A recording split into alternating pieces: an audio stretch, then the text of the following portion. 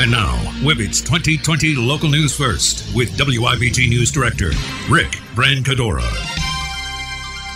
51 year old Mary Lou Wigglesworth of Mays Landing, the South Jersey woman charged with the murder of her husband Christmas night. According to the prosecutor, the Township of Hamilton Police Department responded to the home at 5200 block of Mays Landing Somers Point Road for an injured male shortly before 11 o'clock. By the time officers arrived, they found 57 year old David Wigglesworth suffering from an apparent gunshot wound. He was pronounced dead at the scene. She was taken into custody. She is currently at the Atlantic County Justice Facility this Monday afternoon.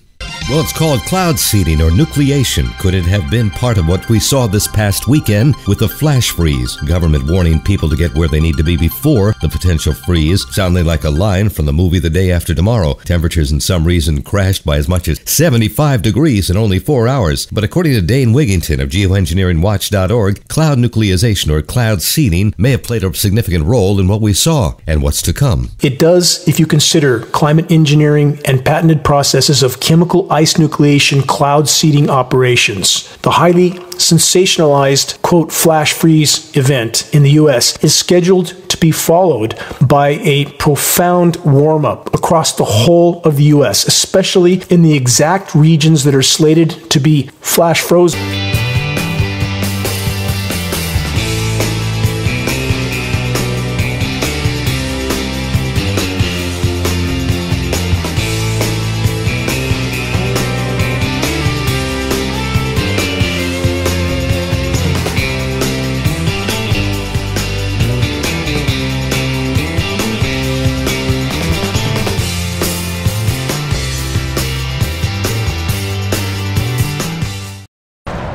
Here in South Jersey, our weather is always changing.